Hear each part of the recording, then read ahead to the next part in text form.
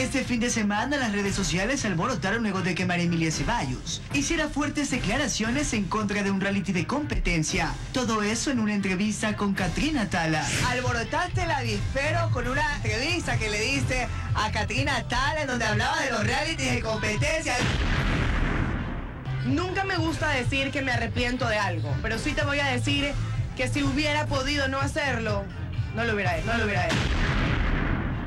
O si hubiera podido elegir otro reality, lo hubiese elegido otro. Yo respeto mucho a la gente humana, a la gente que no se olvida de que somos humanos.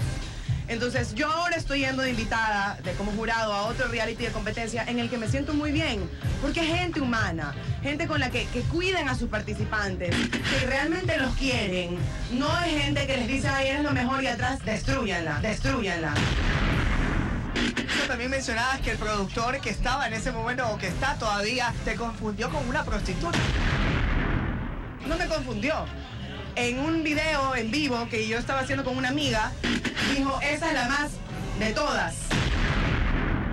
Lo volvió a hacer en una publicación en Instagram, en una foto. Me comentó, no voy a decir la palabra, no era prostituta, pero era otra más fuerte.